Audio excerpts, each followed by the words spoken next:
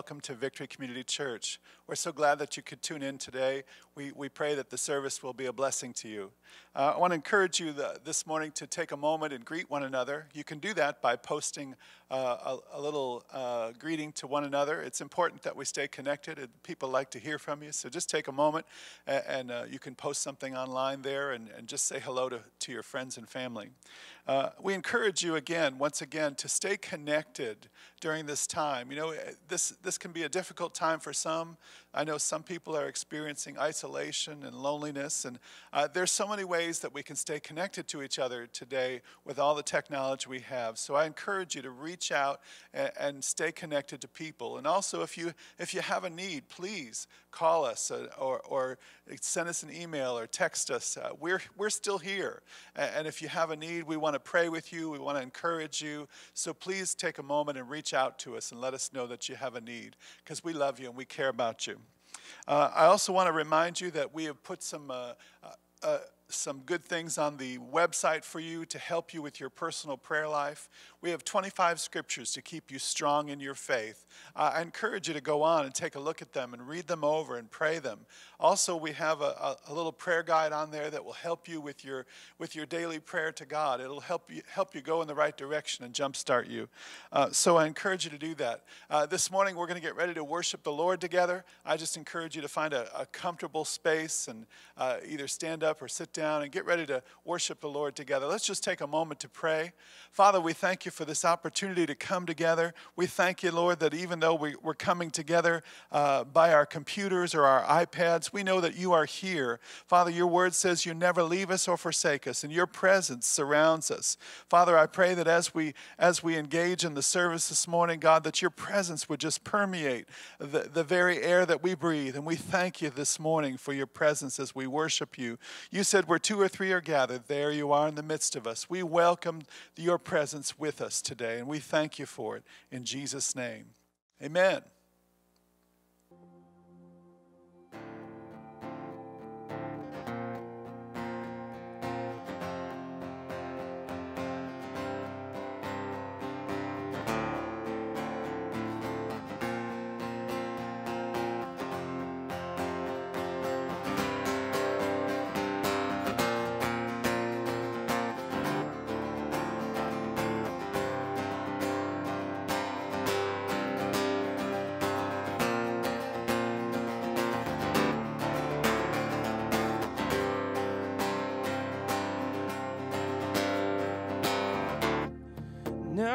Nothing can separate.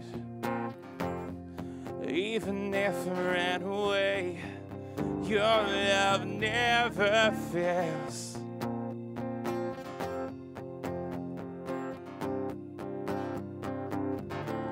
I know I still make mistakes, but you have new mercies for me every day.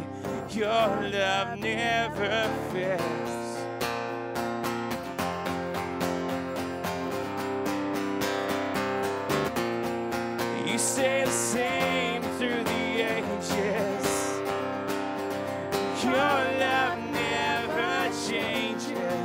There may be pain in the night, but joy comes in the morning. And when the oceans rage, I don't have to be afraid. Because I know that you love me. Cause your love never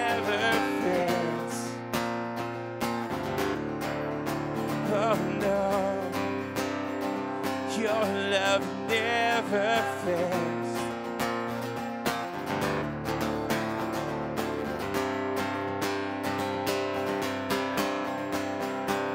The wind is strong and the water's deep, but I'm not alone here in these open seas. Cause your love never fails.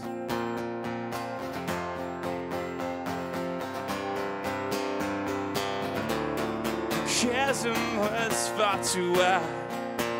I never thought I'd reach the other side. Your love never fails.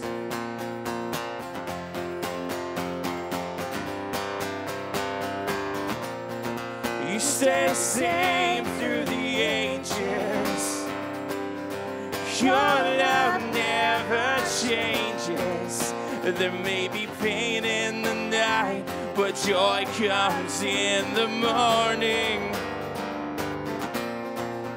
And when the oceans reach, I don't have to be afraid because I know that you love me. Your love never fails.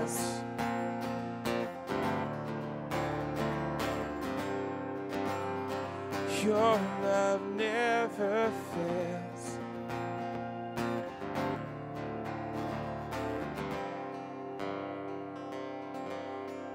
You make all things work together for my good.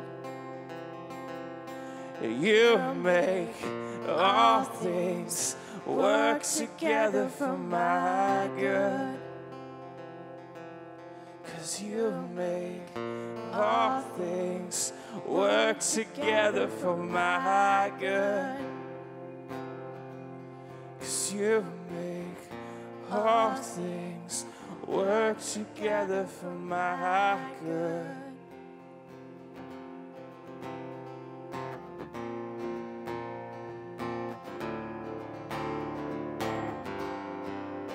God, you make all things work together for my good.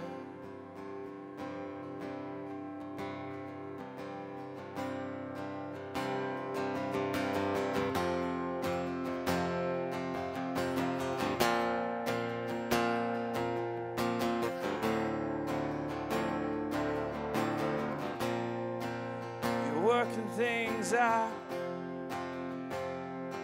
for my good, Jesus.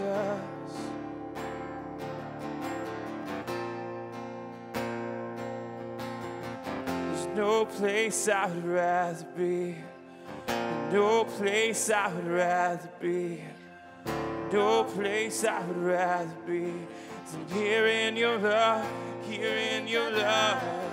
No place I would rather be. There's no place I would rather be. There's no place I would rather be than here in your love, here in your love. Set a fire down in my soul that I can't contain, that I can't control. I want more of you, God. I want more of you, God. Set a fire down in my soul that I can't contain, that I can't control. I want more of you, God. I want more of you, God. Set a fire down in my soul that I can't contain, that I can't control. I want more of you, God. I want more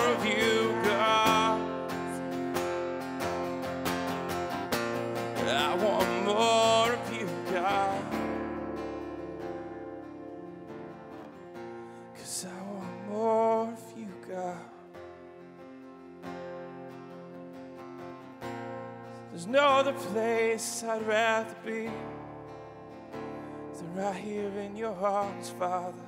In the arms of you, God.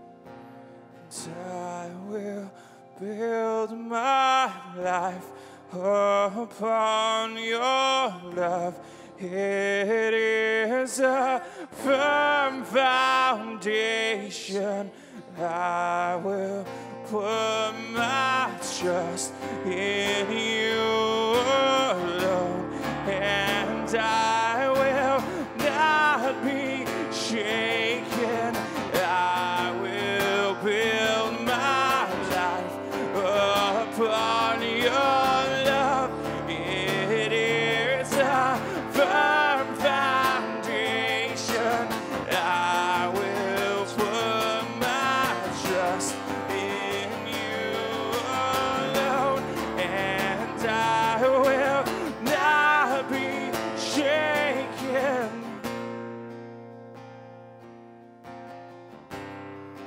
I will not be shaken.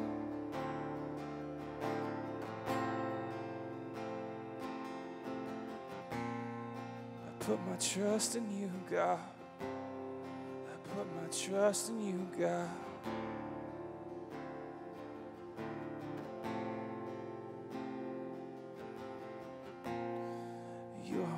With us, Lord. You are with us, Lord. You are with us, Lord, and nothing can stand against. You are with us, Lord. You are with us, Lord. You are with us, Lord, and nothing can stand against. I will build my life upon your love. It is a firm foundation. I will put my trust in you alone, and I will not be shaken.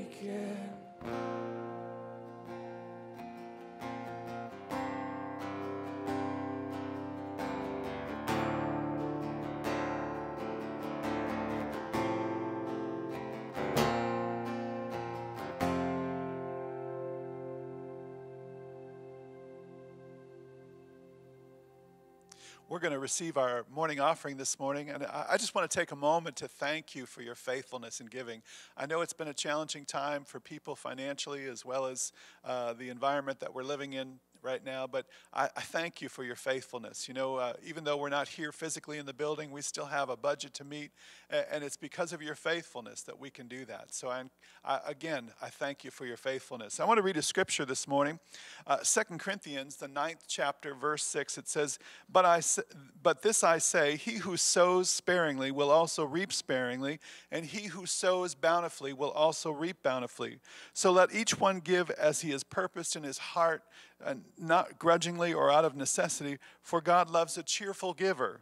And God is able to make all grace abound to you, uh, so that always having all sufficiency in all things may have an abundance for every good work. That's God's plan, that you would always have an abundance for everything. Uh, as always, we know that giving is a heart thing. It's not just something we do mechanically. We want to do it with our heart connected to it. The Bible says doing it with a cheerful and glad heart. You know, it's great to give. Uh, the Bible says it's more blessed to give than to receive. And it's a great thing. I love to give. And so this morning, as we've come together to give, I just want to encourage you to, to keep your heart connected. You ask the Lord what your part is and, and be faithful and be obedient to do that. Uh, again, I want to remind you of how you can give uh, since we're not here in the building. Uh, if you have one of our tithe envelopes, you can just stick a stamp on it and throw it in the mail, and you'll be all set. You can also uh, give online at, at, at at discovervcc.org at the Give tab. Or, or if you need our physical address, it's 1619 Manitou Road, Rochester, New York, 14626.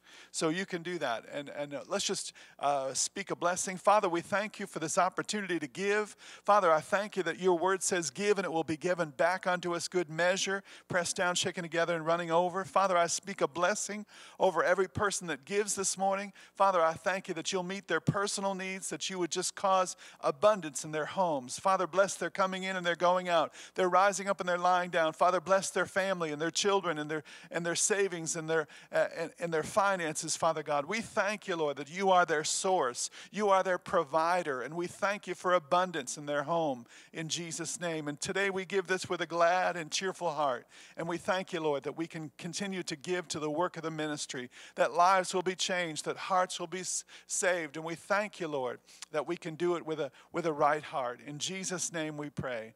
Amen. Amen. Make sure you smile when you when you give. Amen.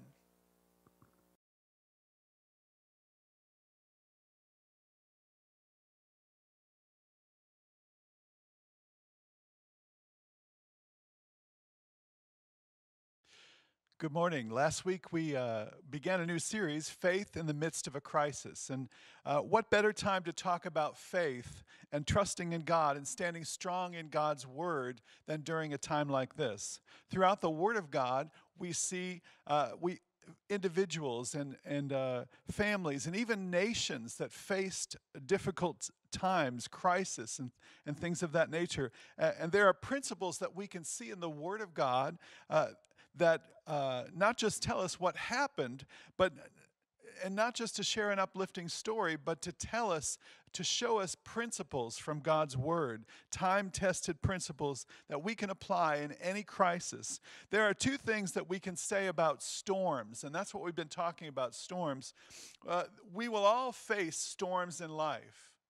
Uh, that's just a fact of life. We will all face storms. And the other thing I want to tell you is that storms will not last forever. And so I, I want to share some principles from God's Word that will help you survive the storm. Different parts of the country, you know, as we as we look in the uh, the natural, uh, different parts of the country face different types of storms.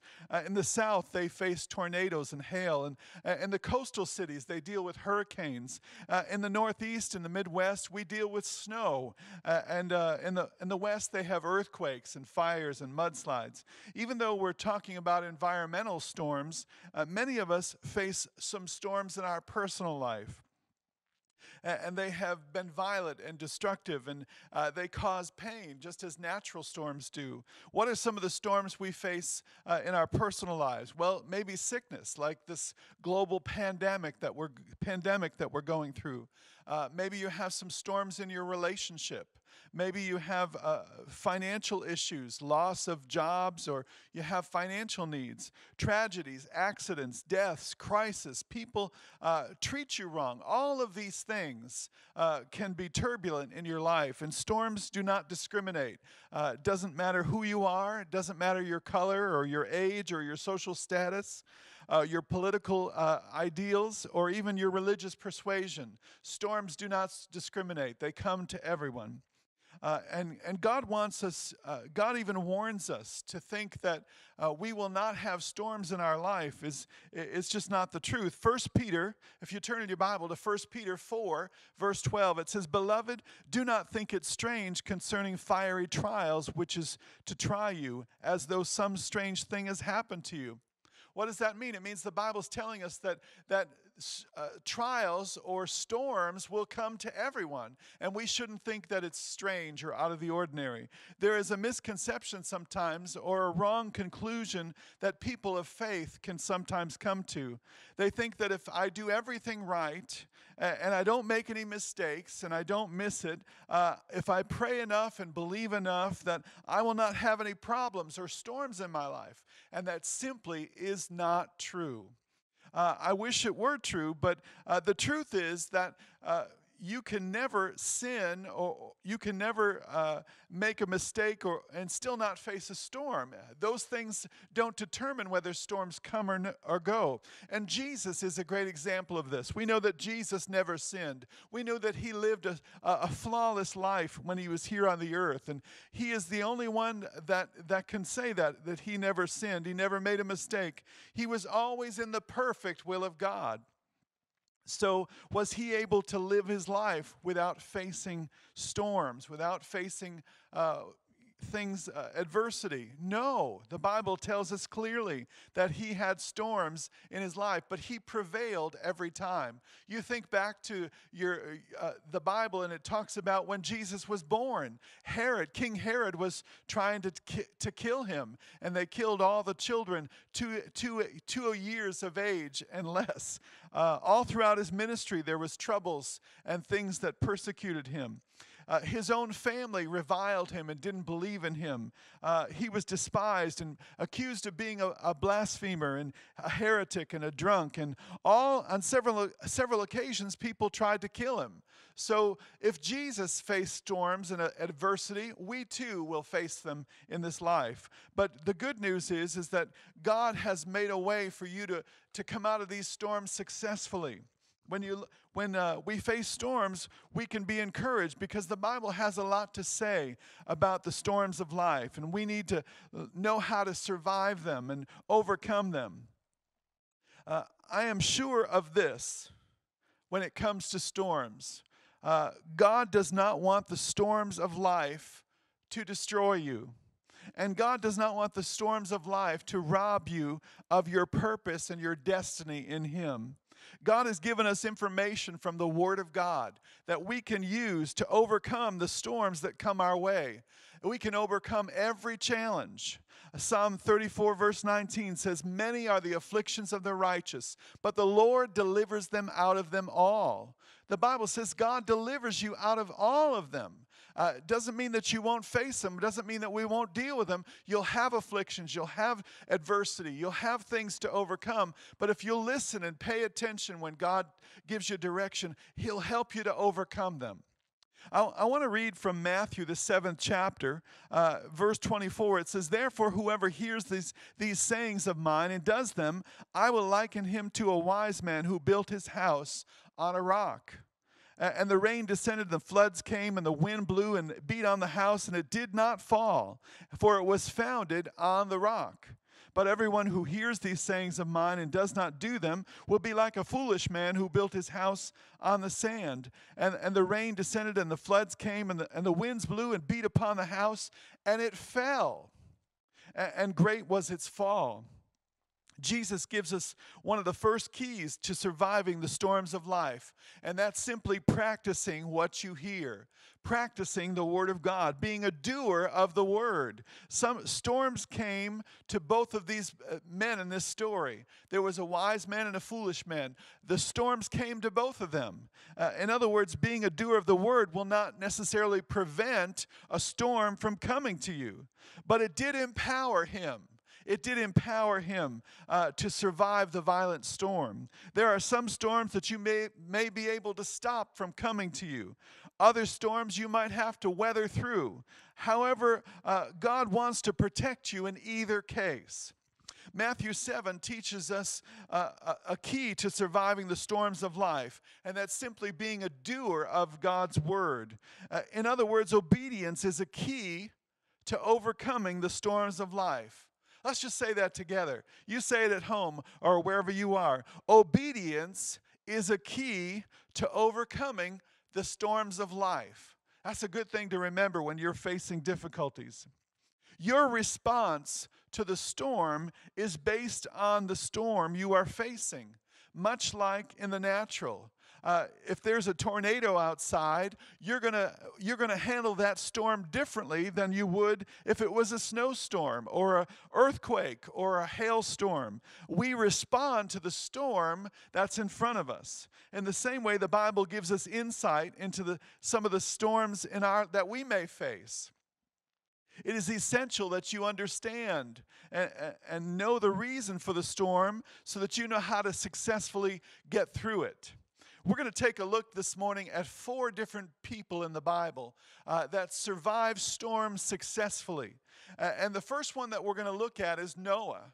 Uh, you can learn some valuable lessons from each one of these people that we're going to look at this morning. Uh, the first one we're going to look at is Noah. We know that Noah was commanded by God to build an ark uh, and, and take along uh, male and female, pairs of uh, male and female animals with him. Uh, the account of Noah is found in the book of Genesis, chapter 6. I want to read verse 13 and 14. It says, God said to Noah, The end of all flesh has come before me, for the earth is filled with violence through them. And behold, I will destroy them with the earth. Make yourself an ark of gopher wood. Make room in the ark and cover it inside and outside with pitch. And then it goes on to explain uh, how he's to build that ark. In verse 21, it says, And you shall take for yourself all food that is eaten, and you shall gather it to yourself, and, and it shall be food for you and for them. Thus Noah did according to all that God commanded him, and so he did. Uh, one thing I want to point out here is we know that Noah built an ark and he took the animals with him and as God directed. Uh, what did uh, d- what did Noah do to survive the storm? I think one of the most important things that we can see here is that, that Noah prepared himself. He prepared himself. Noah did according to all that God had commanded him to do. How long did it take for, for Noah to build an ark? Well, the Bible doesn't uh, clearly say, but Bible historians believe that it took somewhere in the neighborhood of 50 to 100 years to build that ark. Now, that's what I call preparation. He prepared himself. He heard from God. He did what God said, and he, he uh, got himself ready. And God was able to protect him and his family and the animals on the ark. What was uh, all that time before the flood came, Noah was getting himself ready. I believe the best time to prepare for a storm in your life is before it hits. Keeping yourself in a ready condition, keeping yourself uh, listening to God. Uh, we you know, the Bible talks about how Noah gathered food for himself. I believe that's a key for us too that when we are when we're not facing a storm that we should gather food for ourselves. What does that mean? Well, it's not necessarily going to the grocery store and buying out the store, uh, you know, being a hog with all the toilet paper that we're seeing today. I, I believe it's reading the Word of God. I believe it's meditating on God's Word, stocking up on the Word of God in your heart and in your life. The Word of God is is our spiritual food. Reading the Bible, hearing the Word of God being preached, gathering with believers, church and prayer and worship. These are the things that are going to keep you strong and ready for any situation that might come your way. The best preparation for the challenges of tomorrow is the right use of today. Let me say that again. The best, the best preparation for, for the challenges that are ahead of us tomorrow is the, the right use of today, meaning make the most of today. Press into God today. Get your life ready with God today. Put yourself in a place of readiness and prepare now. Uh, another person that we want, we want to look at in the Word of God that su- successfully survived a storm is Jonah. If you look at the book of Jonah, uh, Jonah was a prophet of God. I want to just give you a little background about Jonah. He was a prophet of God who lived at the time of Jeroboam the second. Jonah was instructed by God to go to Nineveh.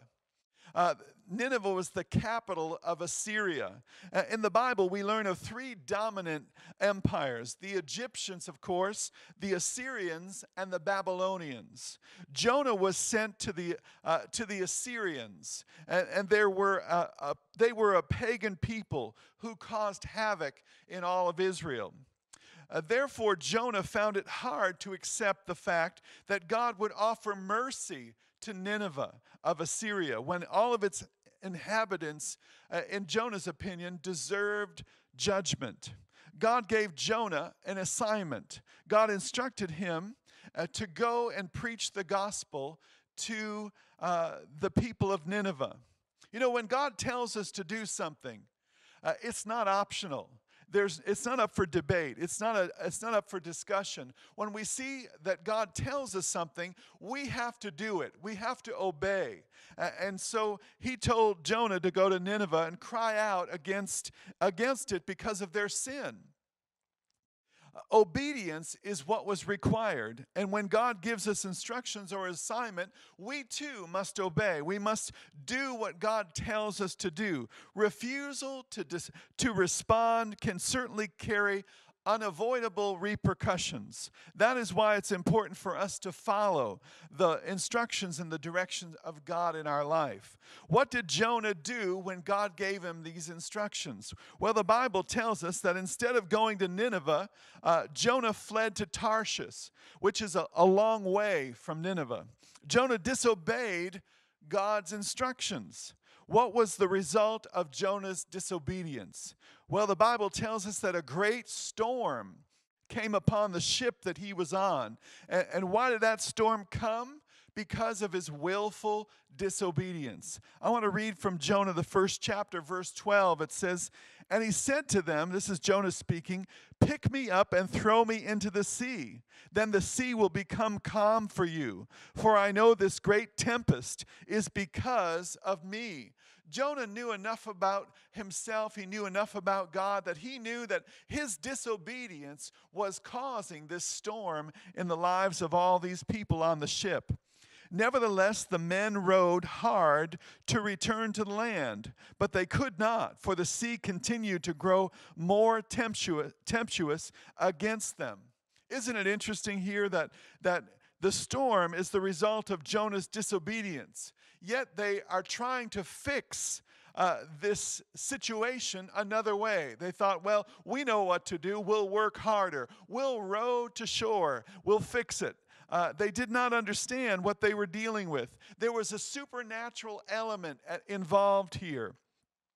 And uh, they, you can't use natural things to solve supernatural problems. And so they were trying to come up with a natural solution to this supernatural event. And so many times we can be like that. We try to alleviate circumstances. Uh, oh, uh, by one means instead of doing what we know to do. In this particular case, uh, we know the best way to get out of some storms is through repentance. R E P E N T, repent. Uh, and, and the best way to get out of some storms is just simply obey. We need to obey what God has said. In fact, if Jonah would never, uh, Jonah would have never faced this particular storm if he had obeyed God to begin with. Uh, that lets me know that obedience will not only get you out of a storm, some storms, but uh, it will also keep them or prevent them to begin with. So they threw Jonah overboard, and the Bible tells us that the Lord had prepared a great fish to swallow him where he would stay for three days and three nights. It is here in the belly of this fish that we begin to see a response to the disobedient storm.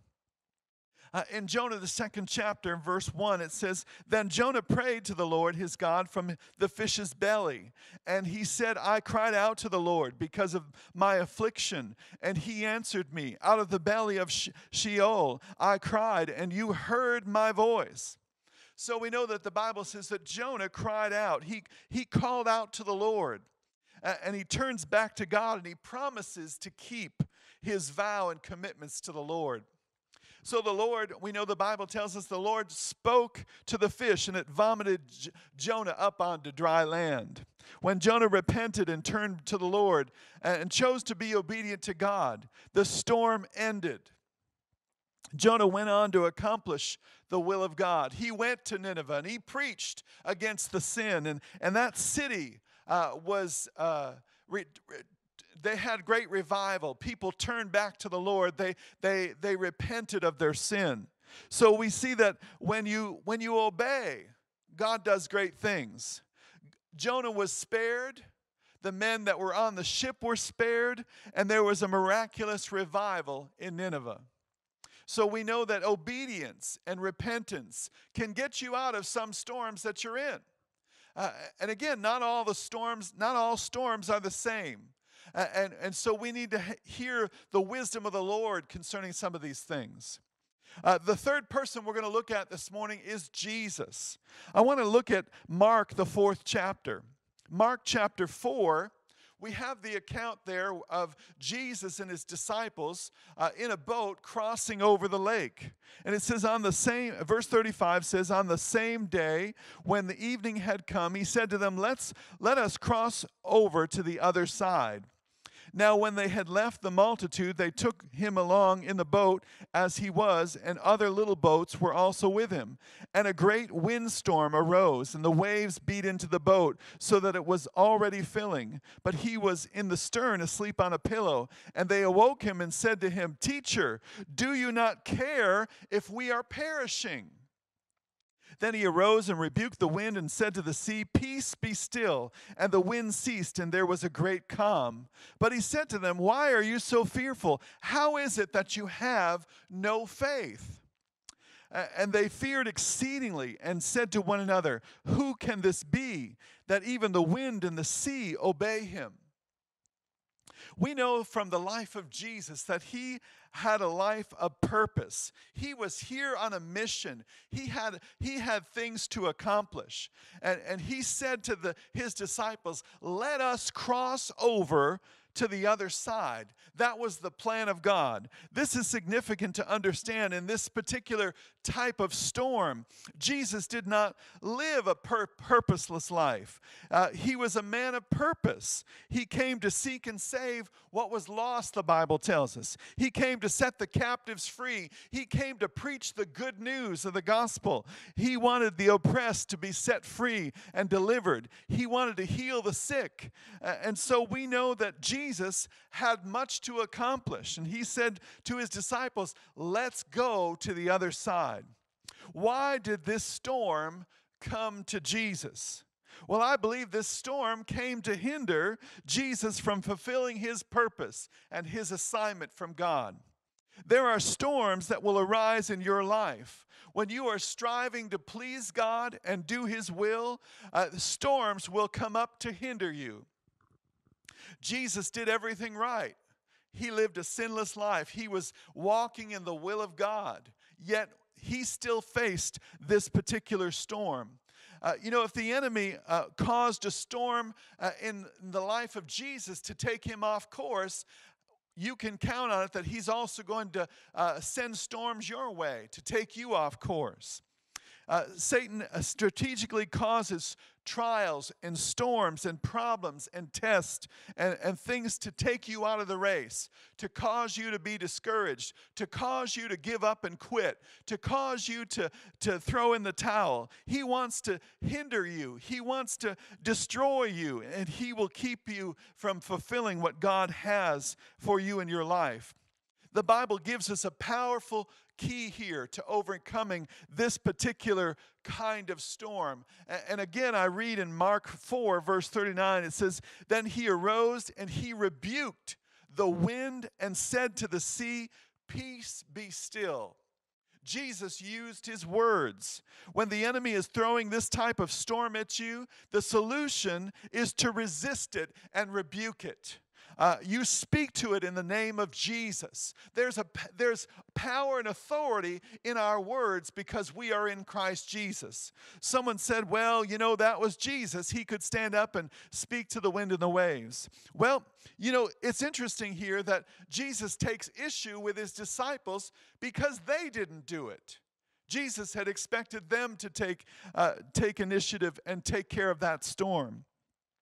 In verse, verse 40, it said, But he said to them, Why are you so fearful? How is it that you have no faith? What is Jesus saying? He's saying that they could have taken care of the storm that they had power, they had authority to take care of this particular storm.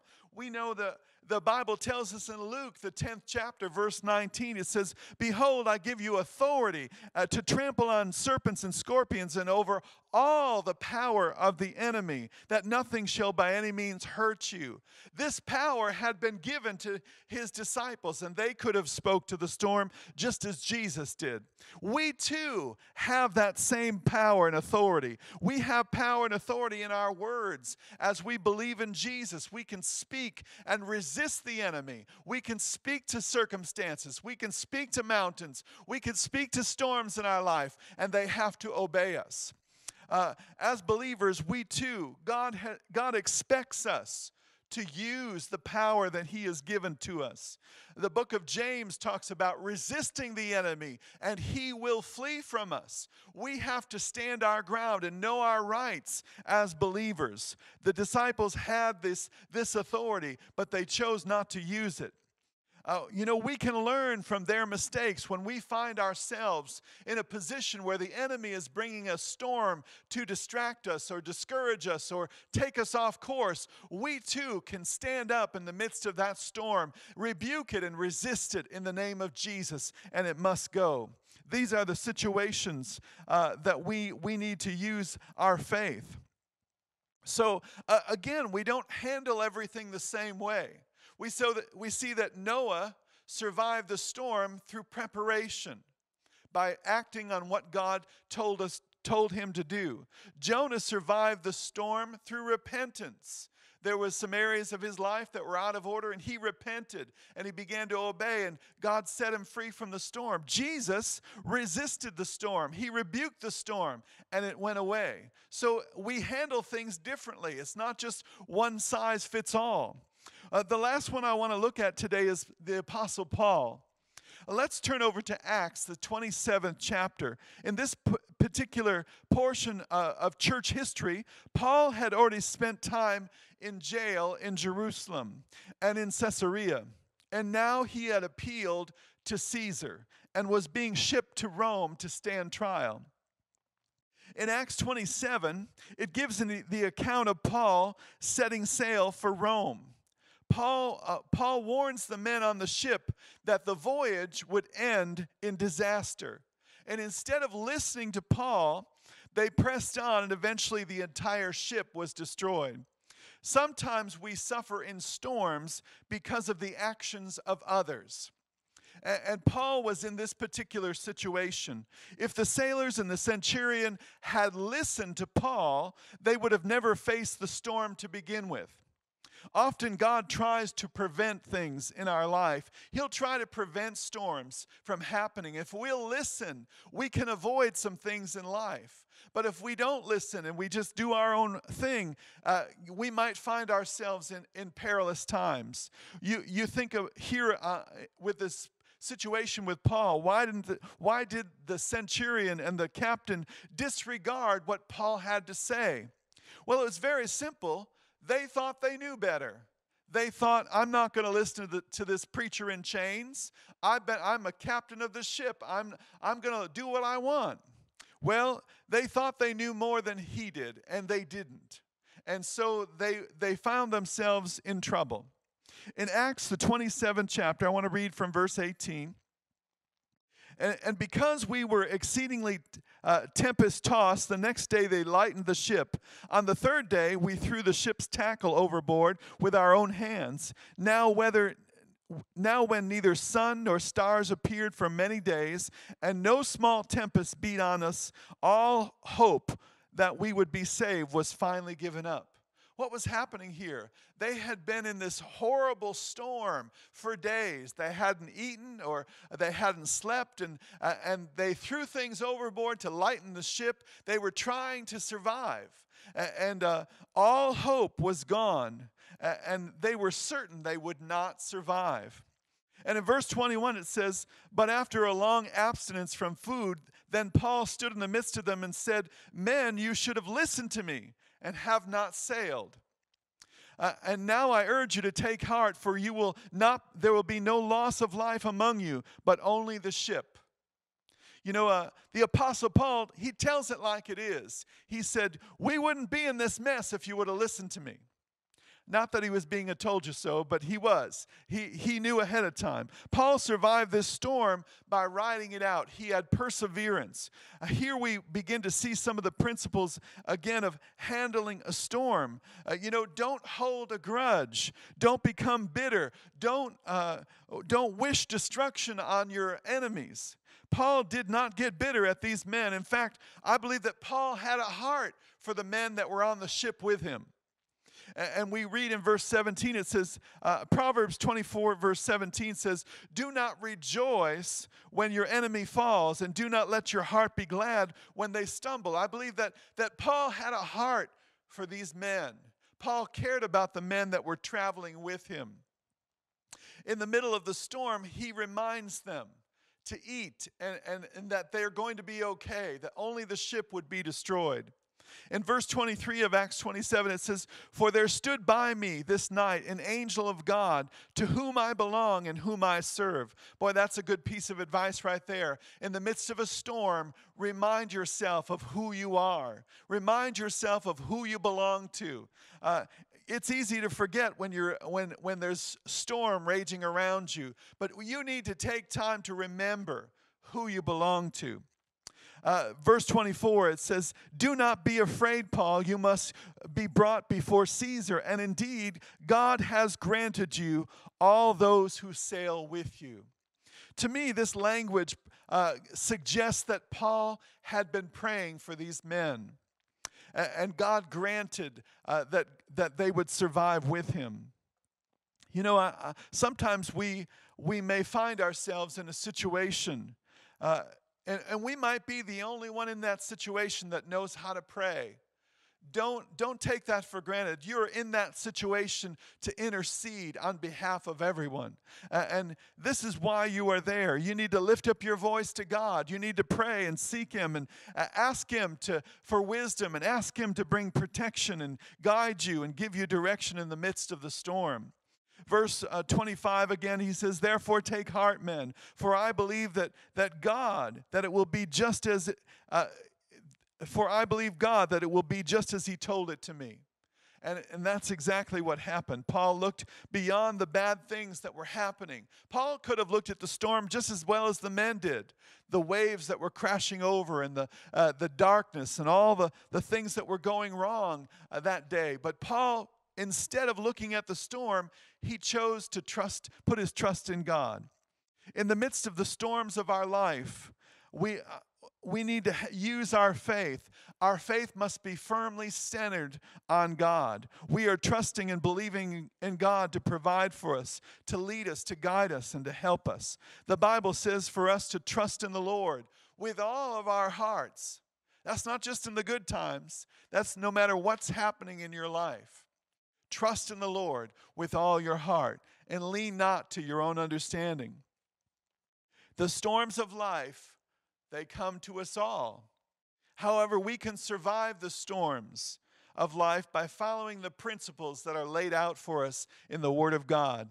Again, just like Noah, Noah prepared himself by planting the Word of God in his heart. He held on to what God said, that he would survive, that if he would build an ark, that God would protect him. So we see him developing that relationship with God and using his faith to build that ark. Uh, uh, like Jonah, Jonah uh, repented before the Lord. And, and, he asked God to forgive him, and he, he recommitted himself to doing what God called him to do. And it caused the storm that surrounded him to cease. Jesus stood up in the midst of his storm and he rebuked the wind and the waves and he spoke to it and he commanded it to be still. Uh, there are times when the enemy will, will bring a storm in your life, and you're going to have to do just as Jesus did stand up and speak to it. You speak to it in the name of Jesus, and you tell it to be peaceful and still. Or you might be like Paul, where Paul prayed and he trusted in God and he rode out the storm and he came out on the other side successful. There are times we're going to have to ride out the storm and we're going to have to remind ourselves that God is with us. No matter what happens, no matter what it looks like, we lean in and we hold on to God and we, we trust Him and we pray, and God will give us the wisdom. So, no matter what you face in this life, I want you to know that it's not God's plan for, for you to, to be taken out by the storms of life. God has good things in store for you. And you need to uh, put your faith in Him and, and start renewing your mind. Remember who you are in Christ Jesus. God has given you the victory, and He wants to bring you out of no matter what the storm is, He wants to bring you out on the other side. Many are the afflictions of the righteous, but the Lord delivers him out of them all. Say all. All no matter what the storm is, no matter what brought the storm on, the Lord knows the answer. He has the key to bring you out of that storm. So you just need to look to Him, and He'll give you that wisdom that you need. I'd like to pray with you today as we close our service. Let's just take a moment and pray. Uh, I believe that God is here for us right now. Heavenly Father, we thank you that no matter what we're going through today, I know that you are a God who wants to bring about good things. You want to bring us out of the trouble that we are in, whether it's financial, whether it's uh, uh, sickness in our body, whether it's family trouble, relationship trouble. No matter what it is, Lord, you have the answer. You know how to deliver us, you know how to bring us through it. And Father, we thank you that you are willing and able to do that. Father, we pray that the Spirit of God would lead us us and guide us in all truth, that we would stand strong in the Lord and the power of His might. Lord, that we would remember who we are in Christ Jesus and not walk in fear. You have not given us a f- spirit of fear, but of love, power, and a sound mind. Father, we, we pray that you would give us wisdom in the midst of a storm, that we would know how to overcome in every situation. Father, you alone are good, and we, we just give you thanks that you love us and that you care about us. And we thank you, Lord, that you are our deliverer. In Jesus' name we pray. Amen. Amen. Just want to remind you that we love you and we care about you. God bless you, and we'll see you next week. Bless you.